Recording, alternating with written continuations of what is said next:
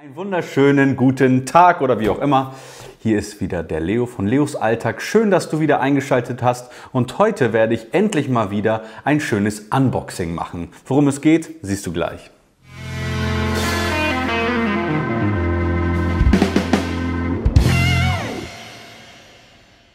Heute werde ich nach sehr, sehr langer Zeit mal wieder ein Unboxing-Video machen. Wollte ich schon lange mal wieder machen. Und zwar handelt es sich um eine smarte Türklingel.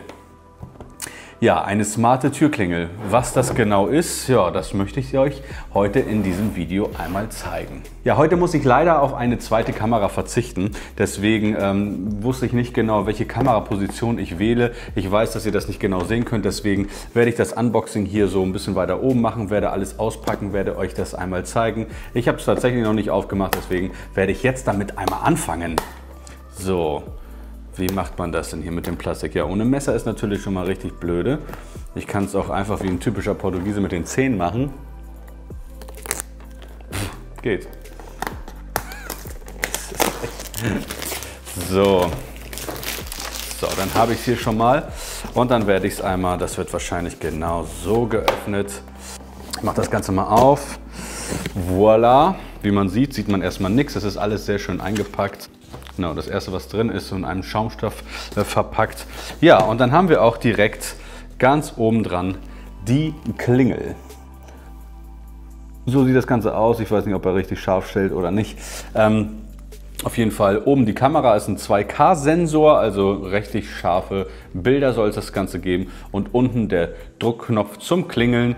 Und wenn man klingelt, dann kommt da wohl so eine kleine LED. So, was ist dann noch drin? Dann ist hier noch so ein Kasten drin.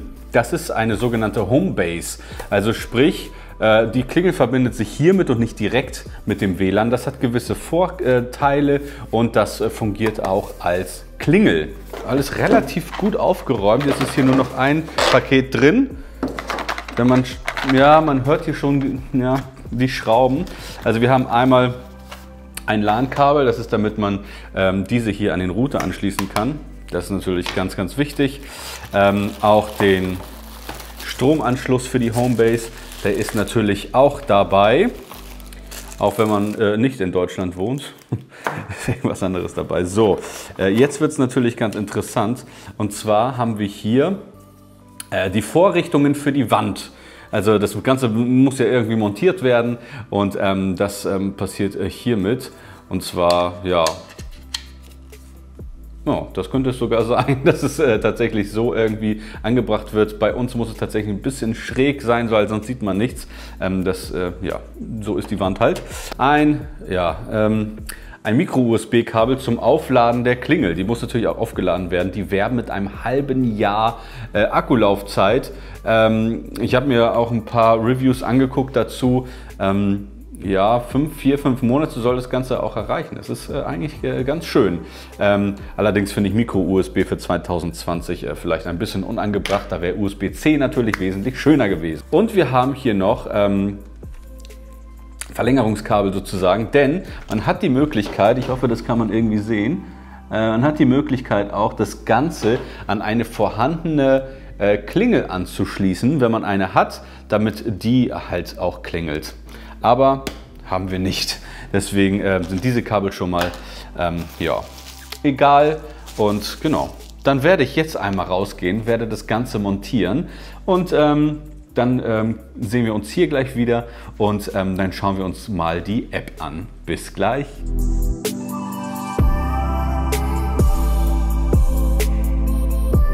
Tja, liebe Leute, ja, jetzt montiere ich dieses ganze Ding äh, und habe leider gemerkt, jetzt äh, im Nachhinein, dass ich alles, was ab jetzt kommt, äh, dass ich schön das Mikrofon hier dran hatte, aber es nicht an der Kamera angeschlossen war.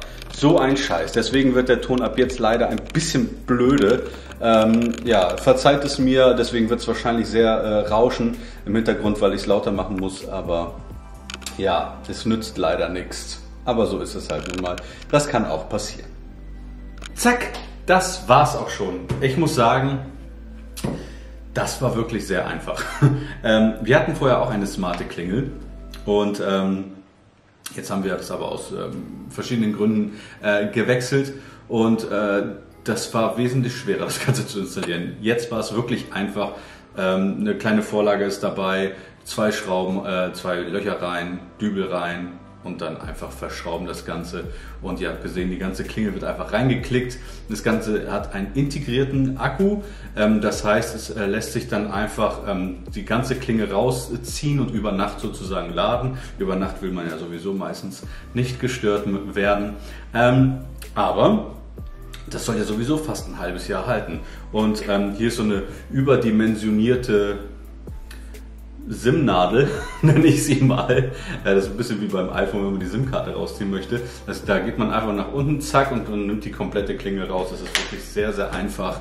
Ähm, ja, ist natürlich ein ganz äh, ein kleiner Nachteil, dass ein verbauter Akku drin ist. Das heißt, das Ding ähm, wird ähm, mich nicht überdauern, ähm, sondern es wird irgendwann halt ausgetauscht werden müssen. Für den Preis muss ich sagen, ähm, ist das aber okay. So, ähm, die Homebridge oder wie auch immer das heißt, das habe ich schon mal, das Ganze habe ich schon mal installiert, ist am Strom dran, ist mit dem Kabel am Router ähm, dran und jetzt ist sozusagen das Smartphone dran. Ähm, die App habe ich bereits runtergeladen. Ähm, ich werde euch im Prinzip äh, gleich ähm, ja, das Bild von dem iPhone sozusagen zeigen. Ähm, genau, dies hier ist die App und ja, ich tippe da mal rauf und dann werden wir mal schauen. Ich war da selber noch nicht, äh, möchte die Mitteilung senden. Ja, das äh, erlaube ich natürlich, weil wenn jemand klingelt, dann äh, muss das natürlich auch funktionieren. So, ich werde äh, mich hier, glaube ich, einmal anmelden müssen. Genau, ich registriere mich eben und bin gleich wieder da. Ich habe gemerkt, ich äh, war schon mal registriert äh, bei denen. Ähm, und ähm, das hat den Grund, dass ich von Eufy oder Eufy oder wie auch immer das heißt, ähm, bereits eine smarte Waage habe. Und da musste ich mich auch anmelden und ja, das nutzt dann natürlich das Gleiche. So, genau, er fragt mich jetzt, ob ich per Face ID, also das Gerät hat Face ID, wenn es nur mit einem Touch geht, das ist natürlich Touch ID, ob das benutzt werden soll. Dann zeige ich einmal mein Gesicht und dann ist das auch fertig. So, jetzt kann ich ein Gerät hinzufügen. Ich mache das Ganze mal und das wird die Homebase ähm, 2 auf jeden Fall sein, oder? Ich gucke mal. Battery Doorbell, ja, auf jeden Fall die Homebase 2. Genau, habe ich angeschlossen. Ja, so, möchte eine Kamera zugreifen, das ist okay. Jetzt muss ich den QR-Code scannen gehen und bin gleich wieder da.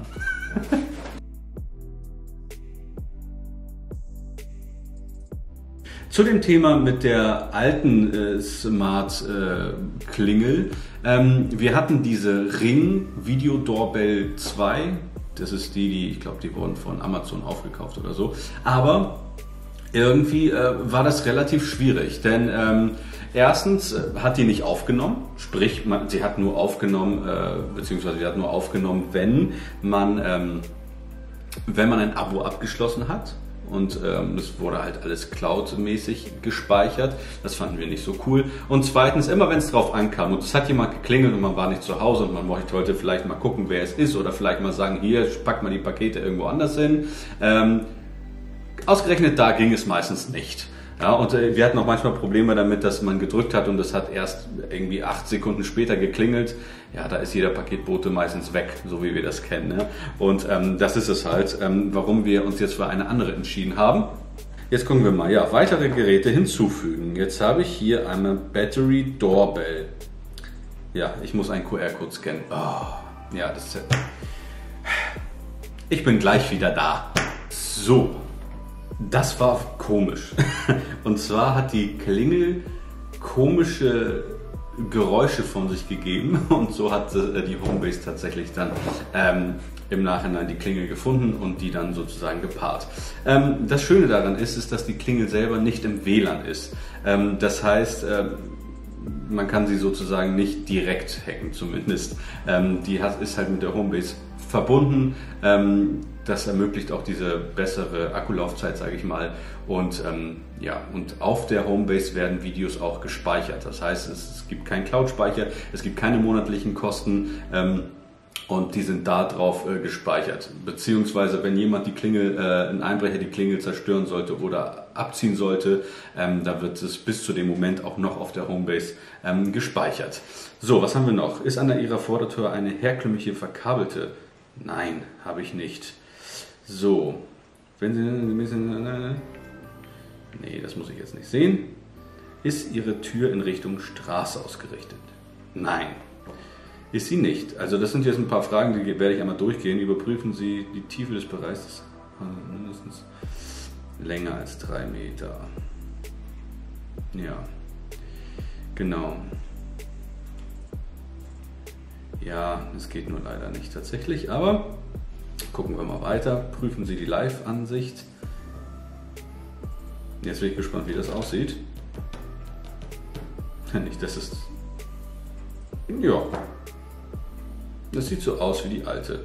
Außer, dass die Qualität wesentlich besser ist auf den ersten ähm, Blick. Das ist wirklich. Das sieht wirklich krass aus. So. Ja, ich hätte sie auch lieber ein bisschen anders, also ein bisschen ja, nach vorne gerichtet halt. Aber ähm, das geht da leider nicht. So ist es halt. Somit ist das eingerichtet und ich muss sagen, ähm, ich bin erst einmal positiv überrascht. Ähm, ich werde natürlich gucken, ähm, vielleicht werde ich im Nachhinein nochmal berichten, wie das tatsächlich ist, wie das läuft. Erstmal einstellen, wie der Klingelton sein soll und so weiter. Man soll auch die ganzen ähm, Alexa-Lautsprecher hinzufügen können, dass die klingeln. Ähm, das werden wir erstmal lassen.